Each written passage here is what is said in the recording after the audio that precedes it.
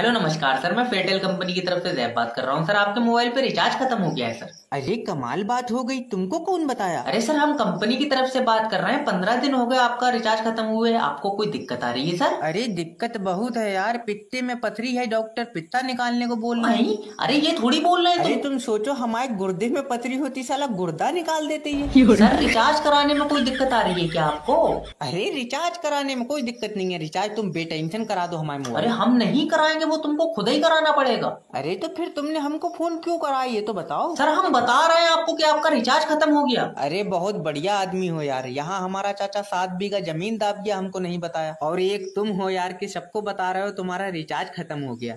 जबकि उनको पहले से पता है। अरे सर ये हमारा काम है सर। बुरा न मानना बहुत जलालत भरा काम है बेटा छोड़ दो। सर पेट के खातिर करते हैं हम ये। अरे इससे अच्छा तो भूखा मर जाओ तुम। आप देखिए हमसे इस तरीके से अच्छा एक बात बताओ अगर हमारी पत्नी की जबान में पथरी हो जाए तो जबान निकाल देंगे का? जबा जबा करते हुए कितनी अच्छी लगेगी।